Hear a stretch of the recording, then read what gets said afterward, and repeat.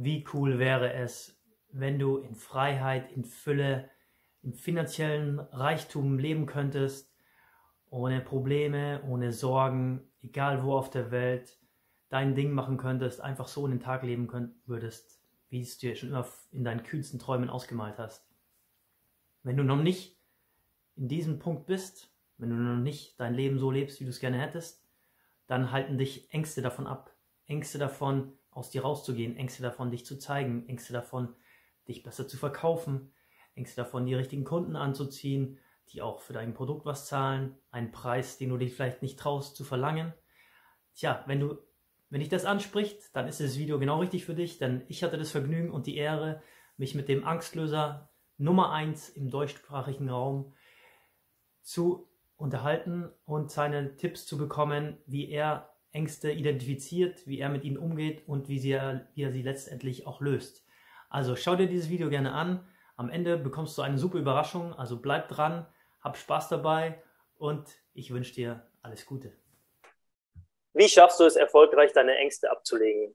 Willkommen in diesem neuen Video hier mit einem Spezialgast und ähm, einem sehr bekannten Gesicht aus The Clubhouse, aus Instagram eine, einem, einem Menschen, den ich sehr schätze für seine Offenheit, für seine Authentizität, weil er auch ähm, vieles durchgemacht hat. Er war unter anderem auf U-Booten unterwegs, er war im Militär, er hat sich mit Ängsten beschäftigt, aufgrund ja, dieser Erfahrung, die er machen durfte, in enormer Tiefe, auf engstem Raum. Und dadurch hast du auch festgestellt, dass, obwohl viele Menschen vielleicht diese Angst verspürt haben, ähm, ja, wirklich bei eng zusammenzuleben, nicht zu wissen, was passiert, abhängig zu sein von dem Umfeld, von Entscheidungen ihrer Vorgesetzten, ähm, ausgeliefert zu sein, dass diese Ängste, obwohl sie vorhanden sind, eigentlich selten angesprochen werden und wenige Leute nur verstehen, damit umzugehen. Ähm, was es dieser Risikofaktor Angst mit sich bringt, kann man auch wirtschaftlich natürlich darstellen. Es können sieben, sechs bis siebenstellige ähm, Beträge an, an Schäden, an wirtschaftlichen ja, ähm, Zusammenbrüchen darstellen. Ähm, und das Ganze, diese Erfahrung, die du gemacht hast, und weil du verstanden hast, wie man mit dieser Angst umgeht, gibst du das Ganze jetzt weiter. Du nennst dich der Angstlöser, du betreust dieser, aus dieser Rolle heraus ähm, über Tausende von ähm, Führungskräften, von Vorstandsmitgliedern und zeigst ihnen, wenn man diese Angst denn erstmal identifiziert und dann auch letztlich auch meistert, was es denn für einen nicht nur persönlichen Wachstum mit sich bringt, sondern auch wirtschaftlich gesehen und wie man sein Unternehmen dadurch wirklich auf Vordermann bringt und in die richtigen Gänge, damit man erfolgreich und auch gesünder letztlich im Leben leben kann. In diesem Sinne, lieber Thomas, herzlich willkommen. Danke, dass du Teil bist äh, von meiner Videoreihe, von meinem Videokanal. Danke, dass du da bist. Lieber Martin, ich sage mal ganz herzlich Dankeschön für die Einladung. Ich freue mich sehr, hier zu sein. Super. Dann lass uns doch mal starten. Wie mit der, mit der zentralen Frage. Viele Menschen sind ja draußen und wollen Dinge tun. Und wie, wie nennt man es auf Englisch? Ich habe es aus Bob Proctors Programm erfahren, ist diese Knowing-Doing Gap. Sie wissen eigentlich, was sie tun wollen, können es aber nicht ähm, vollbringen, weil da irgendwas sie blockiert. Und diese Blockade ist ja meistens die Angst. Wie, wie definierst du denn Angst und was für Art von Ängste aus deiner Erfahrung gibt es denn überhaupt? Da hast du was sehr, sehr Spannendes angesprochen. Sehr, sehr gute Frage. Was ist Angst denn eigentlich? Also die, die Definition von Angst, die sind ähm, oh so, so vielfältig wie die verschiedenen Lexikas, die es dazu gibt. Ähm, in meinem Bild, äh, Bild von Welt ist Angst im Wesentlichen eines, und zwar das Bild eines Schadens, der in der Zukunft auf mich einprasselt. Ne, das fiktive Bild eines Schadens.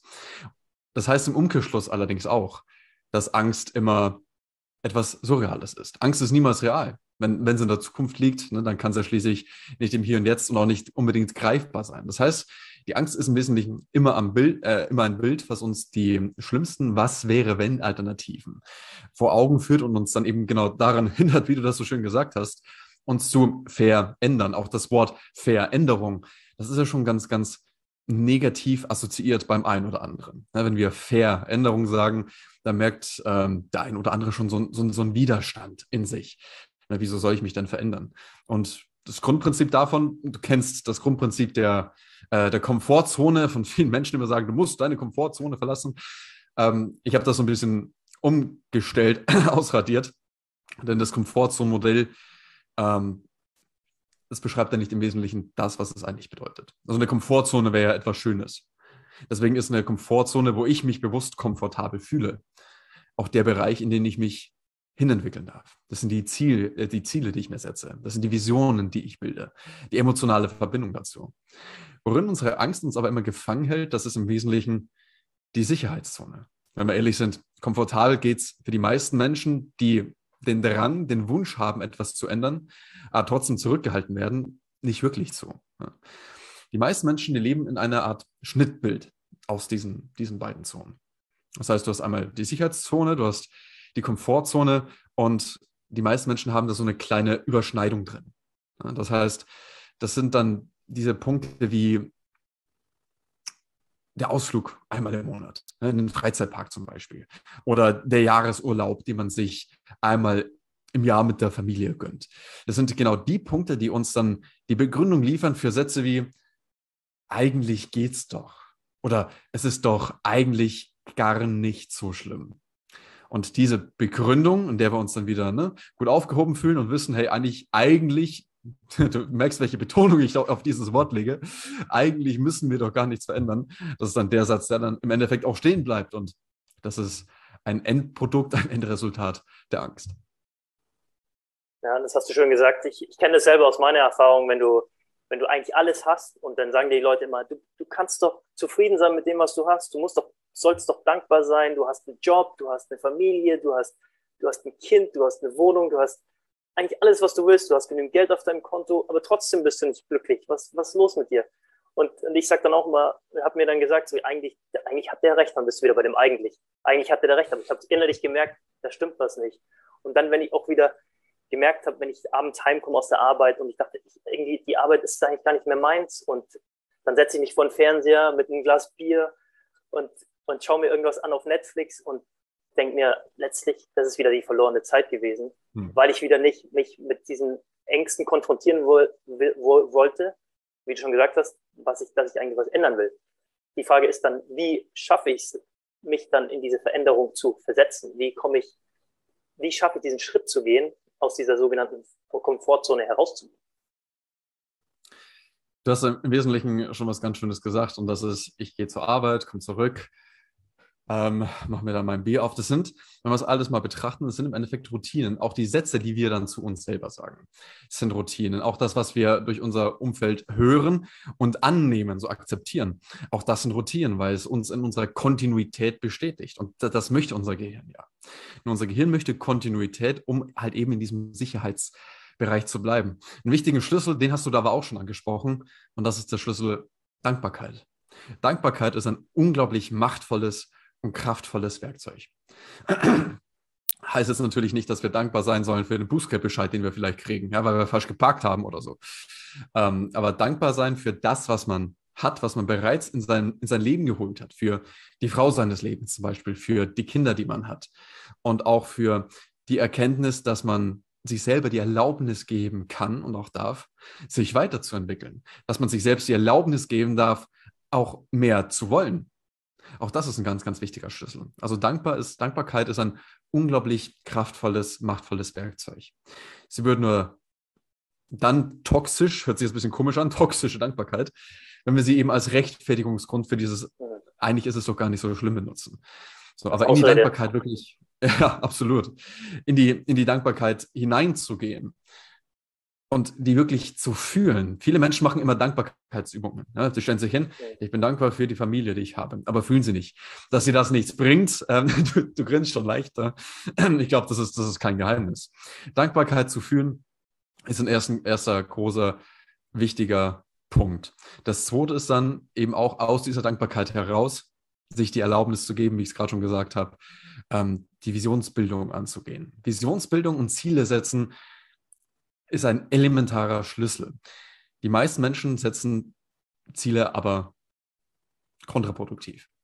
Die meisten Menschen setzen sich Ziele, so wie, wie wir es gelernt haben, auch von, von ganz, ganz vielen Beratern und Trainern, Ja, sie müssen, äh, müssen, müssen greifbar sein, äh, zeitlich terminiert sein, äh, sie müssen messbar sein. Das ist, spielt sich aber alles hier vorne ab. Also das spielt sich alles hier vorne im, im, im logischen Denken, im präfrontalen Kortex ab. Ja, das, was wirklich den Unterschied macht und das, was dir die wirkliche Kraft gibt, auch Rückschläge oder auch mal, ja, auch mal Niederlagen wegzustecken. Und die Offenheit, daraus zu lernen und zu lernen, wie du es besser machst, wie du es anders machst, wie du es förderlicher machst. Das passiert nicht hier vorne, sondern es passiert weiter hinten limbische System, da wo unsere Grundemotionen auch mit gespeichert sind.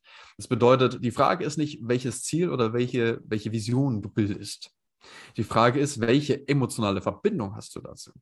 Und die emotionale Verbindung, das ist das, was wirklich Kraft und Antrieb gibt, dann auch in diesen Situationen mutig zu sein. Also Mut heißt ja nicht, ähm, keine Angst zu haben. Das wäre eher die Dummheit, ja, gerade in bedrohlichen Situationen. Sondern mutig sein bedeutet ja in Momenten, in Situationen der Angst, mir die Kontrolle über das, was ich tue und wie ich es tue, von der Angst zurückzuholen und trotz der Angst das Richtige zu tun. Darum geht es ja im Endeffekt. Ja, das ist, das ist eine geniale Beschreibung. Danke dafür. Du hast wichtige Themen angesprochen. Was Thema, auch was die Zielsetzung betrifft, ist die Zielsetzung ja eigentlich für mich mehr der sekundäre Teil von der von seinem, von seinem Leben, von seiner zukünftigen Gestaltung des Lebens, sondern es geht ja primär darum, zu dem zu werden, wer du wirklich bist. Und, und wie du auch schon gesagt hast, die Zielsetzung kann man, man ich denke, der zweite Schritt in der Zielsetzung ist natürlich, dass man seinen Kortex, dass man seinen Verstand einschaltet und versteht, wie man seine Ziele näher kommt, wie man dahin, dahin arbeitet. Aber zuerst gilt, gilt es, diesen, diesen Schritt zu gehen, was will ich denn wirklich machen? Was will ich? Ich will mir ein Ziel setzen, was ich vorher noch nicht erreicht habe, wo auch wie hat, wie gesagt, ich komme jetzt wieder zurück zu einem meiner genialen äh, Mentoren, zu Bob Proctor, der sagt, wenn, mhm. wenn ich mir ein Ziel setze, dann ist das richtige Ziel ist dann nur das richtige Ziel, wenn ich auch emotional in Verbindung stehe und diese Emotion darf oder soll oder muss sogar die Angst sein. Wenn ich keine Angst davor habe, dieses Ziel zu erreichen, dann ist das falsche Ziel, weil dann, dann nehme ich mir wieder was vor, wie du schon gesagt hast, dann gehe ich wieder in diese Routine rein. Ah, ich weiß, ich, ich kaufe mir, ich habe, ich fahre momentan einen Audi A6 und ich will in zwei Jahren wieder neuen, den neuen Audi A6 haben. Also weiß ich mhm. ja eigentlich schon, wie es geht. Ich habe es ja schon gemacht. Also was heißt das, mein, was, was meine Be Entwicklung betrifft? Ich muss mich ja nicht weiterentwickeln. Ich brauche nichts Neues erfahren, ich muss nichts Neues lernen. Ich, ich muss nur weiterhin so viel Geld verdienen wie vor bisher und dann kann ich mir das Auto leisten. Also es geht ja mhm. wirklich darum zu sagen, ich setze mir was Höheres, weil ich weiß, das ist auch mein Grundprinzip, dass alles möglich ist. Ich, es gibt dann nur zu erfahren, wie, was darf ich machen, damit es möglich ist und dann sind wir wieder bei den Ängsten. Dann darf ich die Ängste konfrontieren und feststellen und mich darauf einlassen, wo, mhm. wo habe ich denn noch irgendwelche ja, Blockaden in mir, die mich davon abhalten, meinen Weg zu gehen und mehr aus meinem Leben zu machen. Das, da hast du was ganz Wichtiges angesprochen, nämlich ähm, Ziele, die mir Angst machen. Da müssen wir, bei mir persönlich auch Wording unglaublich wichtig ist, da müssen wir das ein bisschen auseinanderdröseln. Wenn dir ein Ziel, also das Erreichen eines Ziels, ne, dieser, dieser Fixpunkt, wenn der dir Angst macht, dann wäre es eher kontraproduktiv das Ziel selber, das kann, darf, sollte maximal positiv assoziiert sein. Wovon man Angst haben darf. Und genau das ist der Punkt, den du gerade angesprochen hast. Das ist der Weg bis dahin. Der kann und der darf mir auch Angst machen. Genau. Denn dort ist er dort, wo wir diesen, wo wir diesen Widerstand spüren. Ja? Und ich meine jetzt nicht, ähm, meinetwegen, eine Dame, die zum Dating mit einem komplett für sie in ihrem Bild von Welt ekligen Typen geht. Ja? Das ist auch ein innerer Widerstand, dem darf man aber gerne nachgeben. ähm, aber wo wir einen, ein Unbehagen spüren, wo wir merken, oh, hoppala, okay, da, das, da, dafür, dafür muss ich jetzt aber heraus aus meiner Sicherheit, dafür muss ich was tun. Genau das ist der Punkt, bei dem dann auch Veränderung, an, äh, äh Veränderung beginnt. Das bedeutet ja auch nicht, dass das automatisch immer so bleibt. Denn wir gewöhnen uns ja schließlich daran. Ich meine, du kennst bestimmt diesen, äh, diesen Satz, Erfolg beginnt dort, wo der Schmerz sitzt. Ne? Kennst du? Genauso ist es ja auch mit dem Mut. Mutig sein beginnt ja dort, wo die Sicherheit aufhört. Je öfter wir jedoch mutig sind, umso mehr und mehr Macht und umso mehr und mehr Kontrolle holen wir uns dann von der Angst wieder zurück. Und wir können uns, wie gesagt, auch an solche Sachen gewöhnen.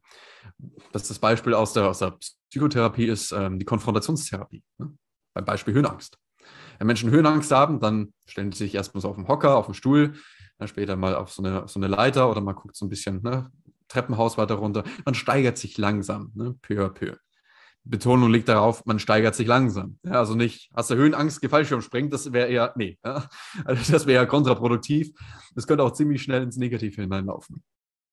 Aber mit der Angst ist es so wie, wie mit so einem Pulli, ja, wie mit so, so, so, einem Kleidungsstück. Wenn du dir so einen neuen, neuen Pulli holst, ja, oder so, so ein Longsleeve, das so vom Tragegefühl so, boah, Format kuschelig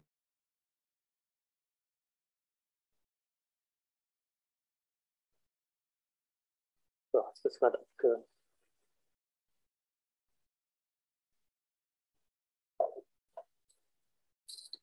Jetzt bist du gerade abgehauen hier. Thomas? Hallo, hallo?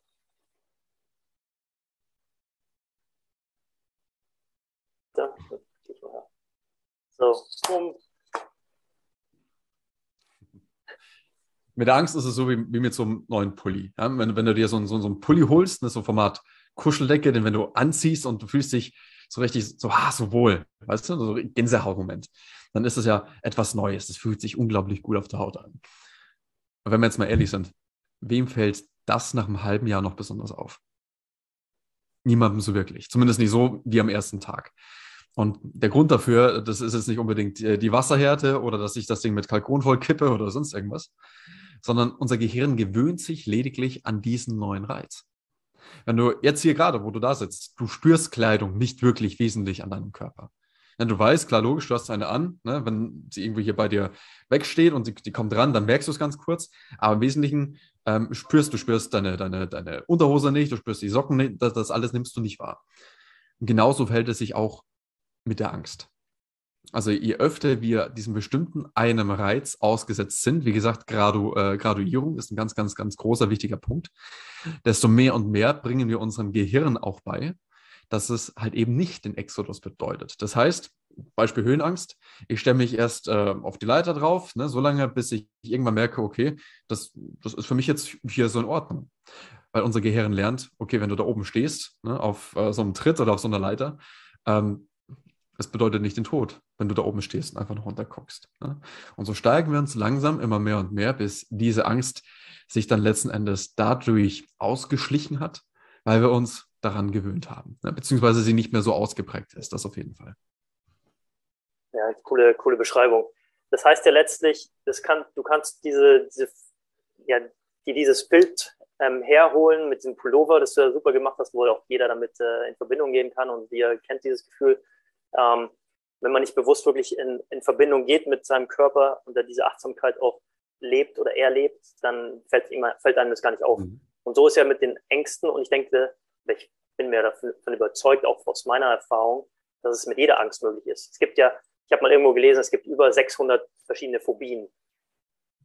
Und mit den, mit den Menschen, mit ich, denen ich zusammenarbeite, jetzt auch speziell im Coaching-Bereich oder, oder auch mhm. was ähm, ähm, ja, was, was mein persönliches Umfeld angeht, wenn ich schaue auf meine, auf meine, auf meine Entwicklung, dann gibt es tausende von Ängsten. Ich hatte immer Angst ähm, zu sprechen. Ich hatte Angst, mich zu melden in der Schule. Ich hatte Angst, mhm. ich hatte Tier, Todesangst, wenn ich vor die Klasse treten musste, um ein Referat zu halten. Das war das Schlimmste überhaupt. Das war Horror. Also sprich, es gibt diese, diese Angst, sich zu zeigen, die Angst, sich zu verkaufen. Letztlich ist ja letztlich immer das Verkaufen. Ich verkaufe mich selbst, ich stelle mich selbst dar. Ähm, und die Angst auch ich, ich, selbst zu sein. Und was wir, was wir schon mal besprochen hatten im, im Voraus, ist diese Angst, sich letztlich dann auch mit sich selbst zu konfrontieren, ist die primäre Angst oder der, der, der Schritt, den, er eigentlich, den, den ich zu gehen habe, damit ich meinen Weg weitergehen kann, damit ich meine Ziele verfolge, wie du schon gesagt hast. Und hm. was ist denn für dich so, was sind für dich so die, die, die Hauptängste, die, mit denen du in Verbindung gekommen bist und und wie hast du es geschafft, die zu lösen, auch für dich selbst oder auch für, für die Führungskräfte, für die Menschen, die deine Seminare besuchen die mit dir zusammenarbeiten? Also Ängste, wie du schon gesagt hast, gibt es unglaublich unendlich viele. Und genauso verschieden sind auch die, die Punkte, auf die man sie zurückführen kann. Ähm, wenn wir mal bei dem Beispiel bleiben, Angst vor dem Sprechen, das war etwas, das hatte ich in der Tat auch ganz, ganz lange Zeit. Ja, also da gibt es verschiedene Ursachen, verschiedene Möglichkeiten. Das eine ist ähm, die Art und Weise, wie unser Gehirn arbeitet. Ja, ich muss aufstehen vor einer großen Menschenmasse in direkter Konfrontationslinie. Alle Augen sind auf mich gerichtet. ähm, da sagt unser Gehirn auch schon mal, äh, Obacht, äh, irgendwie, das ist gerade kein stimmiges Bild, das solltest du nicht tun. Der andere Punkt, das sind Referenzerlebnisse. Und da kommen wir auch zu, zu dem Punkt, äh, der, der bei mir die Angst vor dem Reden damals ausgelöst hat. Äh, da war ein ganz großes und massives Re Referenzerlebnis, obwohl ich vorher bei Referaten oder so, hatte ich keine großen Probleme, ne, aufzustehen und zu reden und zu sprechen. Ähm, es war eine Bundeswahl, äh, Bundestagswahlveranstaltung, es war eine Podiumsdiskussion. Ähm, lege mich jetzt nicht mehr auf das Jahr fest, das kann ich aus dem Kopf jetzt gar nicht mehr herbeten. Im Buch steht es, glaube ich, drin. Ähm, und auf jeden Fall waren dort diese vier Mitglieder, die vier Kandidaten ne, für, für, die, für das Direktmandat.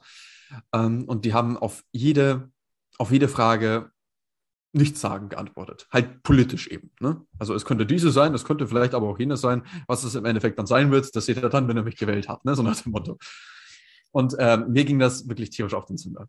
Und deswegen habe ich äh, gesagt, gut, pass auf, ich stehe jetzt auf und ich stelle jetzt eine Frage, die, die kann man nur mit Ja oder Nein beantworten. Also eine, eine geschlossene Frage, der man aber auch nicht ausweichen kann. So also richtig mit Riegel und Schloss davor. Tschuck. Beziehen klares Statement, Ja oder Nein. Ähm, und ich habe mich gemeldet. Die Dame, die Helferin, kam mit dem Mikrofon zu mir. Äh, ich habe das Mikrofon genommen, an den Mund gehalten äh, und habe meine Frage gestellt.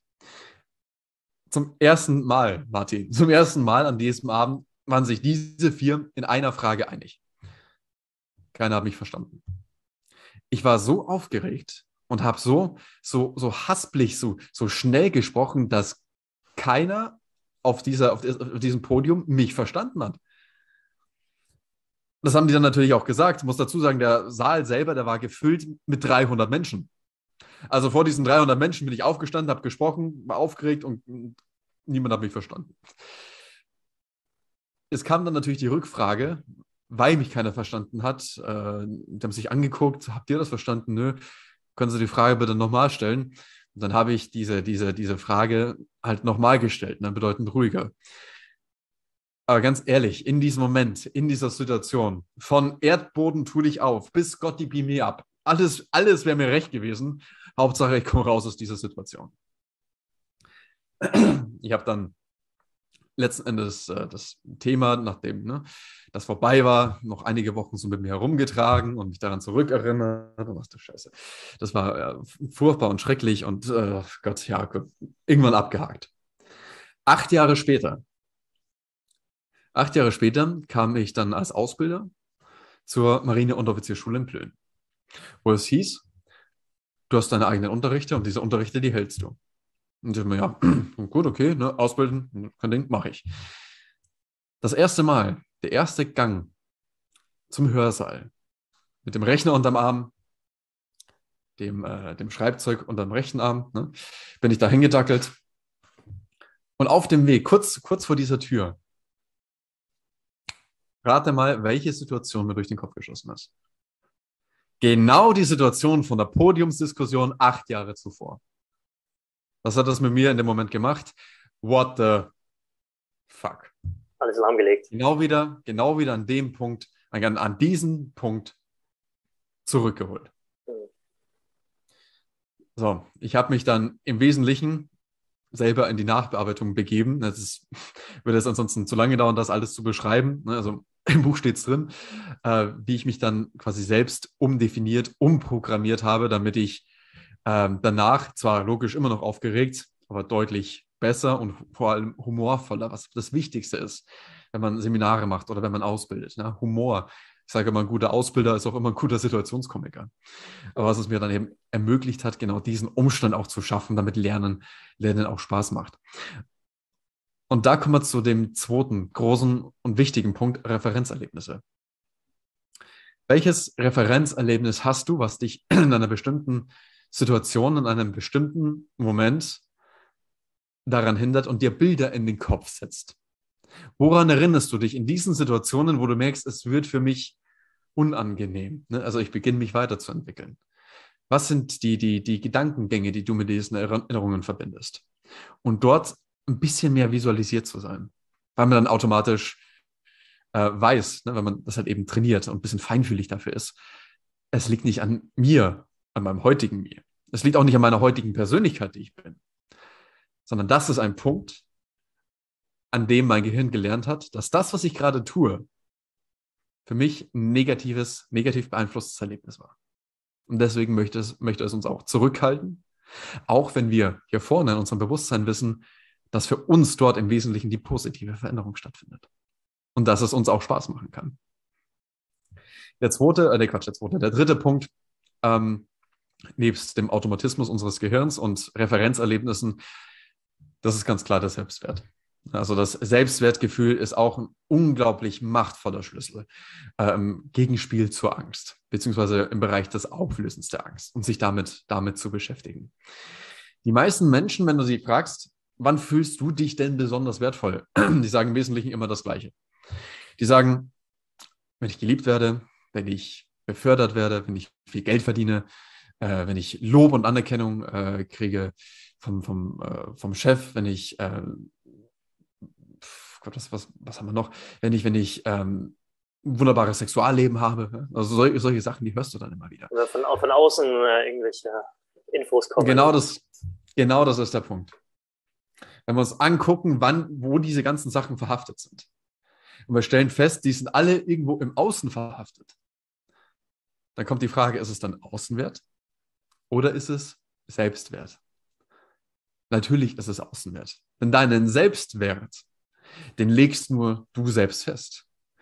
Und niemand anderes und nichts anderes, kein Mensch und kein Umstand ist dafür verantwortlich, welchen Wert du dir selbst gibst. Wir haben es mal ganz anders gelernt. Äh, klar, logisch. Wir, äh, wir haben es in der Schulzeit gelernt. Ne? Gerade in der Prägungsphase auch unseres Gehirns, in der Prägungsphase unserer Persönlichkeit, ne? wo sich unsere Persönlichkeit ähm, neuroanatomisch ausbildet ne? und äh, ihre Grundstrukturen und, und Formeln annimmt. Ne? Man spricht das so circa bis zum 21. bis 24. Lebensjahr um und bei, in der wir unsere Persönlichkeit bilden. Ähm, und in der Prägungsphase oder in den prägendsten Phasen kommt die Einschulung, kommen die weiterführenden Schulen, kommt dann entweder das Studium oder auch die Lehre. Und wenn du dich mal zurück entsinnst, ist schwer, weiß ich, aber so ne, Zeitraum der Geburt, ähm, du hast nichts Großartiges geleistet während der Geburt. Du, du, du bist unten irgendwie rausgeflutscht, hast deiner Mutter gerade die, die Schmerzhölle auf Erden bereitet und hast vielleicht keine besondere große Leistung erbracht, außer eventuell auf Mopetisch zu pieseln. Ja, das war es dann aber auch schon. Aber trotzdem, in diesem Moment, wo du da unten rauskommst, wirst du in den Arm genommen und wirst bedingungslos geliebt. Du musst nichts tun, du musst nichts leisten. Und das hält ja auch an bis zu diesem Zeitpunkt, ne, von sechs oder sieben. Bei meiner schon früher, ne, mit fünf Meter Vorschule bis zur Einschulung. Wenn, wenn das Kind ankommt mit so einem Bild ne, zur, zur, zur Mutter und sagt, Mama, schau mal, das habe ich für dich gemalt. Und die Mutter nimmt das Bild, guckt das so an und sagt, schön, was soll denn das sein? Das bist du, Mama. Ja, super, hast du ja ganz toll gemalt. Niemand okay, niemand ist vielleicht zu verallgemeinernd, ja. Also ich kenne niemanden, der sagt, geh auf dein Zimmer, mal was, was man erkennen kann, dann kannst du wiederkommen. Das machst du nicht, weil du weißt, was es in diesem Kind auslöst. Ab dem Zeitpunkt der Einschulung, da wissen wir das auf einmal nicht mehr. Da ist Anerkennung und Wertschätzung auf einmal an Bedingungen gebunden. Und genau das lernen wir diese ganzen Jahre, diese ganze Zeit durch. Und noch was passiert in diesem Einklang. Wir werden in diesem Zeitraum unglaublich fehlerfokussiert wenn du dich mal erinnerst, wenn du, wenn du ein Diktat zurückgekriegt hast zum Beispiel oder in irgendeine Klausur, wonach hast du denn als erstes geguckt, nachdem du es zurückgekriegt hast? Klar, nach der Note und dann hast du durchgeblättert und dann hast du nach was geguckt? Den roten Strichen an der, am Rand. Richtig, du hast, du hast nach den Fehlern geguckt. Ja, du hast, bist nicht nachher nach durchgegangen und sagst, volle Punktzahl, yes, volle Punktzahl, yes, was volle Punktzahl, yes, ja? sondern du hast nach den Fehlern geguckt, was hast du falsch gemacht? Wir werden wahnsinnig fehlerfokussiert. Und das ist im Wesentlichen genau das, was wir dann später ins Erwachsenenalter mitnehmen. Also dieses, mein Wert ist an äußere Bedingungen gebunden und diese Fehlerfokussiertheit, das nehmen wir mit ins Erwachsenenalter und behalten es, wenn es blöd läuft, bis wir irgendwann den Löffel abgeben, ins Gras beißen und uns dann diese Frage stellen, hätte ich doch mal. Ja, das hast du, hast du toll zusammengefasst, die, was, was die Prägungen mit uns machen können ich kenne es auch ganz, ganz gut noch. Ich habe das noch wirklich vor Augen, weil du sagst, ich, ich kann mir das vor Augen führen, diese Situation, ich, auch was die Schule betrifft. Ich hatte einen Deutschlehrer, der hat, der hat sich sogar den Spaß gemacht, von den, bei den Schulaufgaben, nach den Schulaufgaben, von irgendwelchen Erörterungen oder was weiß ich, was das für eine Art von, von, von Examen war, die dümmsten Sprüche vorzulesen, also die, die gröbsten Ausdrucksfehler vor der Klasse vorzutragen, namentlich bekannt zu geben, von wem das Ganze gestammt ist. Und da war ich auch teilweise mal dabei und du sitzt dann immer nur drin, mhm. äh, hoffentlich, hoffentlich erwähnt er mich nicht, hoffentlich bin ich es nicht diesmal. Und das natürlich, das trägt sich über die Jahre hin fort, wenn man sich nicht damit da bewusst wird, diesen, diesen, ja, diese, dieser Situation, dieser Erfahrung, die sich, und wo du sagst, ich, ich bin ja ab, ich bin ja abhängig, ich werde abhängig gemacht von dieser, von dieser äußeren Wertschätzung. Wenn, die, wenn diese äußere Wertschätzung natürlich negativ ist, dann fühle ich mich entsprechend schlecht und rund in den Dreck gezogen. Ähm, und wenn die positiv ist, dann, dann weiß ich, ja, ich habe das Richtige gemacht. Aber dass es von innen mhm. kommt, dass ich spüre, wie, wie, dass ich das Richtige gemacht habe für mich, das ist, glaube ich, so der, der nächste Schritt, den es zu gehen wird. Und dann sind wir auch wieder beim Selbstwert. Wenn ich weiß, dass ich mir das selbst wert bin und ich, ich weiß, dass, dass ich das Richtige tue und auf meinem Weg bin, dann komme ich, dann kann ich auch mit diesen Fehlern besser umgehen. Wenn ich, wenn ich weiß, das, das gehört zu mir. Und auch diese Ängste gehören ja letztlich zu mir. Ich darf sie akzeptieren, ich darf sie annehmen.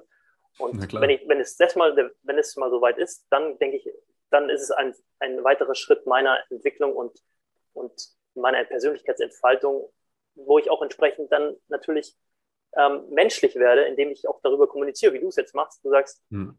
ich weiß, ich, ich habe diese Erfahrung gemacht damals ähm, in, die, in dieser politischen ähm, Versammlung. Ähm, ich weiß genau, was das mit mir gemacht hat und wie ich damit umgegangen bin. Deswegen die, die, die Frage vielleicht noch zum, zum Schluss, ich möchte dann nicht das Ganze noch zu sehr aufblasen, vielleicht können wir es nochmal in einer Fortsetzung weiterführen, unser Gespräch. Ähm, wenn du jetzt diese Prägungen, wenn diese bewusst sind, was ist dann der nächste, was ist der logische Schritt, den ich gehen kann, damit ich mit diesen Prägungen ähm, umgehen lerne und dann, wie, wie ich schon gesagt habe, wie schaffe ich es dann, sie zu akzeptieren und dadurch auch, auch darauf aufbauend auch weiterzugehen und meine Ziele ähm, zu verfolgen? Das ist jetzt eine gute Frage, denn die Antwort darauf, die spielt auch so ein bisschen auf die Persönlichkeit ab. Also welche Persönlichkeit bist du? Wenn du merkst, okay, da ist etwas, da ist was verankert, ich kann das reflektieren, ich weiß aber nicht, wie ich damit umgehen soll, dann ist na klar, hol dir jemanden, der das schon gemacht hat, also der sich schon damit auseinandergesetzt hat und der dir dabei helfen kann. Hol dir, wenn du, ähm, wenn es um das Thema Zielsetzung geht ja, oder ähm, arbeiten an den eigenen persönlichen Zielen. Sofern man natürlich, ne, wie vorhin gesagt, seine emotionale Verbindung hat. Hol dir jemanden, such dir jemanden, der heute schon an diesem Punkt angekommen ist, weil der weiß, wie es geht. Ne, der vielleicht auch einen ähnlichen Weg hat als du.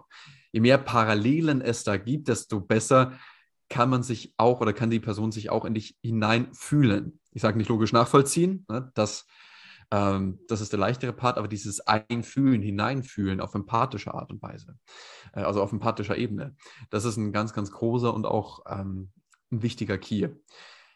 Das erste, der erste Schritt, wenn man das visualisiert, ist wirklich sich einzugestehen, ja, ich habe Angst. Mutig sein, wie gesagt, das heißt ja nicht, dass man keine Angst hat. Im Gegenteil. Wir leben in einer bipolaren Welt. Ne, es gibt Plus und Minus, Yin und Yang, es gibt Ebbe und Flut, es ist so ein Aufgang, es ist so ein Untergang. Wir, wir brauchen dieses Bipolare. Wenn mir jemand sagt, ich habe keine Angst ja, oder ich bin niemals traurig, dann sage ich danke, schönen Tag fürs Gespräch, äh, das uh, Wiedersehen, tschüss. Ja. Weil das darf es, in meinem Bild von Welt, das darf es nicht geben. Ja. Denn stell dir mal vor, du kommst auf die Welt, bist nur noch gut drauf. Du würdest gar nichts anderes kennen welchen Wert hätte Glück und Erfüllung oder dieses gut drauf sein, Freude denn noch für dich? Ich will gar nicht sagen, gar keinen, so vermessen bin ich nicht. Aber einen deutlich geringeren als jemand, der auch die Gegenseite kennt, die Trauer. Also sei ruhig traurig. Sei auch mal zornig und wütend. Und ja, du darfst auch Angst haben. Den einzigen Unterschied, den wir machen, das ist, ich lasse mich nicht davon beherrschen. Ich entscheide, wann es genug ist. Und ich lasse mich dort nicht beeinflussen von irgendwelchen äußeren Umständen, von äußeren Gegebenheiten, von dem Spritpreis an der Tankstelle, von einer Beziehung, die geändert hat, von, von ähm, einer Kritik von meinem Chef, die ich gekriegt habe. Also von keinem Umstand und von keiner Person. Denn die Privilegien zu entscheiden, wann ich traurig bin, wann ich glücklich bin, wann ich wütend bin, wann ich Angst habe und wann es für mich genug ist, diese Macht, die behalte ich bei mir selbst. Herzlichen Dank, Thomas. Das waren super Worte zum Schluss. Auch diese, diese Polarität nochmal anzusprechen, dieses Gesetz der Polarität, dass es, ein, dass es Positives, das dass es Negatives so gibt. Dass es darum gilt, das Ganze zu akzeptieren, dass, dass ohne dem Negativen kein Positives gibt und andersrum, ist für mich der, der, der Schlüssel überhaupt, dem Leben auch eher letztlich positiv gegenüberzustehen und zu sagen, es gibt das Schlechte und es gibt das Gute, aber es ist immer nur eine, eine Interpretation von dem, was ich auch empfinde dafür oder wie ich, was ich für eine mhm. Bedeutung auf dieses diese Situation, auf diesen, ja, auf diese, diese persönliche Lage, berufliche Lage, was ich darauf, was ich darauf lege, welche Energie ich da reinfließen lasse auch. Und Angst als Emotion und generell, was die Emotionen für mich betrifft und wie ich damit umgehe und wie du auch damit umgehen könntest oder wie du, du Thomas auch damit umgehst, ist letztlich ja die Angst nicht, die Angst ist ja eine Energie, eine Form von Energie und was, was ist das Wichtigste an der Energie ist, dass sie fließt. Wir dürfen sie fließen lassen. Es geht da nicht darum, die Angst in uns zu speichern und mit uns rumzutragen, sondern zu sagen, die Angst Los gehört mir. Ich gebe sie auch wieder ab. Und wie du sagst, dann, hm. wenn ich, wenn ich, wenn ich dann mal rausgehe oder ich gehe, ich mache eine Runde Sport oder ich meditiere oder was auch immer sich gut anfühlt, damit man spürt, so, ja, jetzt lasse ich das wieder los, das Ganze. Das, das ist, es gehört nicht letztlich nicht zu dir, weil die Angst wurde uns irgendwo beigebracht mal. Also außer die Todesangst, die Überlebensangst natürlich, von der abgesehen. Aber letztlich, wenn ich, wenn ich verstehe, ist das wirklich meine Angst? Ist das mein Erlebnis und ist, kommt dieses, dieses Gefühl, was sich in diesem Moment gezeigt hat in mir, ist das, ist es, was ich in mir, was wirklich zu mir gehört? Und wenn es nicht, dann up, weiterfließen lassen. Ich, ich sehe es immer so, diesen Fluss, in diesen Fluss zu kommen und zu sagen, gut, das, ich spüre jetzt wieder was, was Angst macht, was, was macht das mit mir? Gibt es, ist es meins? Okay, dann nicht, weiter weg damit. Also das ist für mich, diese, diese Energie, danke, das ist für mich entscheidend. Das hast du unglaublich wunderschön beschrieben, ne, die, auch die Angst durch sich hindurch zu lotsen. Ähm, das ist ein wunderbares, kraftvolles Tool. Jetzt kann ich mir vorstellen, dass vielleicht der eine oder andere sagt, ja, äh, tolle Wurst, wie, wie mache ich das? Wie gehe ich denn ad hoc in so einer Situation ähm, genau damit um? Und ich weiß jetzt nicht, wie es mit, äh, mit der Zeit ausschaut. Ansonsten ähm, gebe ich euch gerne noch oder gebe ich gerne noch drei Tipps mit, wie du in einer Situation ähm, im Endeffekt auch mit einer Angst umgehen kannst er macht das gerne, Thomas. Tipps sind immer gut. Ja. Ein wesentlicher großer Punkt, der vor allem bei Entscheidungsängsten immer eintrifft, ist ja diese Was-Aber-Wenn, ne, diese Was-Aber-Wenn-Frage, die uns dieses negative Bild der Zukunft reinmalt. Wenn du nicht weißt, wie du dich entscheiden sollst oder in so einer Entscheidungsangstsituation bist und dabei auch Verlustängste hast, das geht ja immer mit einher. Ne, was verliere ich, wenn ich mich falsch entscheide? Dann, und das ist ein unglaublich kraftvolles Instrument, setz dich hin, schließ die Augen, atmest tief durch und hol dir den schlimmsten Fall, der eintreten könnte, in deinen Gedanken, ins Hier und Jetzt. Das heißt, du nimmst diese geistige Haltung an. Der schlimmste Fall, der einprasseln könnte, der ist jetzt bereits da. Der ist schon eingetreten. Und dann fängst du an, genau diesen Zustand zu akzeptieren. Ja, das heißt, wir sollen uns dann nicht großartig selber bescheißen. Ne? Darum geht es nicht. Aber wenn wir an diesen Punkt kommen, wenn wir in der Akzeptanzphase sind, dass die schlimmste, das schlimmste Endresultat, das schlimmste Bild, was uns die Angst zeichnet, angenommen haben, dann passiert was Spannendes. Denn in diesem Moment fangen wir an, lösungsorientiert zu denken. Warum? Weil unser Gehirn in dem Moment Schadensbegrenzung betreiben will. Und das ist ein unglaublich machtvoller Schlüssel, der dann, bevor diese schlimme Situation wirklich eintritt, ähm, unglaubliche Präventionsarbeit leisten kann. Ein anderer Quick-Tipp ist, ähm, einen Mutanker sich zu setzen. Also ein Mutanker, wenn du dich hinstellst in Situationen oder Momenten, die du dir vor Augen führst, wo du mutig warst oder stolz auf dich selber warst, diese Körperhaltung einnimmst und das Ganze einfach mal zwei Minuten, wirklich zwei Minuten aushältst. Gibt es eine Studie von der Universität von Kalifornien, ne, die halt herausgefunden hat, dass wenn wir eine Körperhaltung zu einem bestimmten äh, Emotionszustand einnehmen, dass wir nach zwei Minuten schon zu 25 Prozent diese Gedankenmuster und die Emotionen in uns auffühlen, in uns spüren, die wir damit verbinden. Klar, das geht negativ, das geht aber auch positiv. Das heißt, stell dich hin, spür in diese Situation hinein und setz dir dann einen Kraftanker. Ob du dann einfach eine geballte Faust machst, ihr den, den, den Daumen hier einmal so durchnimmst, ne, zwischen, zwischen, zwischen Mittel- und Zeigefinger, ob du dir irgendwo hindrückst. Anyway, setz dir den Punkt der für dich dein Kraftanker ist. Und je öfter du das wiederholst, umso mehr intensivierst du das auch. Das bedeutet im Umkehrschluss, dass du dann, wenn du es brauchst, über diesen Kraftanker, über dieses Drücken beispielsweise, diesen Zustand und diese Energie auch abrufen kannst. Dritter Tipp, das ist der größte Quick-Tipp überhaupt, atme. Atmen jetzt heißt nicht, ne, in Schnapperpunkt verfallen und hier wie der Hund nach, nach einem Dauermarathon einmal hecheln, sondern fahr deinen Körper ein bisschen herunter. Durch die Nase einatmen, 21, 22, 23 und länger, doppelt so lange durch den Mund wieder ausatmen. Das heißt, drei Sekunden einatmen, sechs Sekunden ausatmen. Dafür, das schafft man auch mit der Raucherlunge. Ja, das kriegt man auch hin. Das Ganze dreimal wiederholen und mit dem letzten Ausatmen dann und go. Damit fahren wir unseren Körper herunter, damit fahren wir unsere Herzfrequenz herunter und beruhigen uns mit dieser Atemmethode einfach selbst. Und auch, auch das alleine schon ist ein unglaublich machtvoller und kraftvoller Schlüssel. Wow. Vielen Dank dafür. Drei geniale Tipps. Ähm, werde ich auch für mich beherzigen. Habe ich schon mal irgendwo gehört, aber du weißt ja, wie es ist. Man hält sich nicht an die Tipps, an die Ratschläge oder macht es einmal. Wo war das noch? Was war das noch? genau.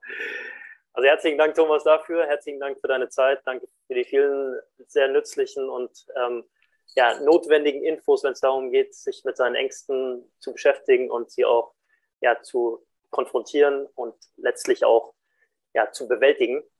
Ähm, wie können denn oder wie, kann, wie können die Zuschauer mit dir in Kontakt treten? Wie können sie mehr von dir erfahren? Wo, wo finden sie dich? Und im Prinzip ist es, ist es ganz einfach. Du musst nur Thomas Dorsch bei Instagram eingeben oder bei LinkedIn. Da findest du mein Profil und da kannst du mir gerne auch direkt eine Nachricht schreiben. Der andere Weg ist über meine Website thomasdorsch.com. Auch dort findest du einen Terminbutton, wo du direkt zu meinem Kalender kommst, der auch ein Videotool beinhaltet. Ne, du kennst ihn ja schon, Martin. Und ähm, dort findest du dann den Kalender, wo du dir einen Termin auch direkt mit mir persönlich sichern kannst. Also du kommst dann nicht an irgendeinen Vertriebsmitarbeiter oder ähm, sag mal an irgendjemand, äh, der so ein Vorgespräch mit dir irgendwie führt, sondern halt wirklich eins zu eins mit mir. Das ist mir persönlich einfach auch wichtig. Schön. Und nicht zu vergessen, du hast ja auch ein Buch geschrieben, hast ja hast du ein paar Mal schon erwähnt. Das kann man, wo kann man das bekommen? Ähm, das bekommst du entweder, wenn du im Buchhandel danach fragst oder einfach auf Amazon. Den Link zu, äh, zu Amazon, den findest du auch im Linktree auf Instagram bei mir drin oder natürlich auch klar auf der Webseite. Ja. Da kommst du direkt hin. Danke dafür nochmal. Deine Links werden auch in der Beschreibung hier von dem Video stehen. Ähm, wenn dir das Video gefallen hat, dann ähm, setz doch gerne ein Like drunter, abonniere meinen Kanal, ähm, schreib einen Kommentar drunter oder schreib auch gerne eine Frage, was ja, was noch offen ist, was sie noch beschäftigt zum Thema Ängste. Oder ganz einfach, setz doch deine Angst, die dir bewusst ist, schreib sie doch gerne in die Kommentare. Und das ist schon mal der Anfang. Und Thomas, ich denke, da bist du auch mit mir im, im Einklang. Es geht darum, die Ängste sich bewusst zu werden. Wenn man sie aufschreibt, allein das Aufschreiben ist schon ist die, erste, die erste Stufe der Heilung. Dieses bewusste Abgeben ähm, trägt schon dazu bei, dass man in Zukunft sich besser damit ähm, beschäftigen kann, dass es dass man es externalisiert und dass man, ja, dass man sie einfach vor Augen hat letztlich. Darum geht es ja. Absolut. Diese Energie Absolut. Du, weiterzugeben. Das hast du sehr schön gesagt. Genau dieser Schritt, ja, das erstmal sich damit beschäftigen, das ist der Punkt, an dem es den Unterschied gibt zwischen gedacht zu werden von der Angst oder selbst zu denken und von der Opferrolle in die Schöpferrolle reinzugehen. Und weil du es gerade noch angesprochen hast, mach mal ganz einfach Folgendes. Wenn du dieses Video hier einmal kommentierst, beziehungsweise auch gerne einmal dieses Video teilst auf Social Media, Facebook, Instagram, äh, whatever. Mach das gerne mit äh, einem Hashtag Martin W. Zimmermann. Ja, dann siehst du das, beziehungsweise verlink gerne den lieben Martin darauf. Ähm, und die ersten zehn, bei denen wir das dann sehen, bei denen wir das ähm, ja, genießen dürfen, da bedanke ich mich ganz herzlich mit ähm, einem Exemplar von meinem Buch Angstfrei Reden, Freihaus als Geschenk. Vielen Dank, Thomas. Danke für deine Großzügigkeit. Danke für deine Unterstützung von meinem Kanal, von meinem Wirken. Ähm, ich bin sehr dankbar dafür, dass, dass wir uns zusammen, dass wir uns gefunden haben, dass wir hier gemeinsam äh, unsere Botschaften raustragen können. Das ist mir eine sehr große Ehre. Danke dir nochmal fürs Zuschauen. geh doch gerne auf dieses Angebot ein und ähm, ich freue mich aufs nächste Mal. Vielleicht auch wieder mit dir, Thomas, und auf ein weiteres. Ich wünsche alles Gute und ja, viel Erfolg bei allen deinen Unternehmungen. Danke dir, Martin. Euch auch. Alles Gute. Ciao, ciao.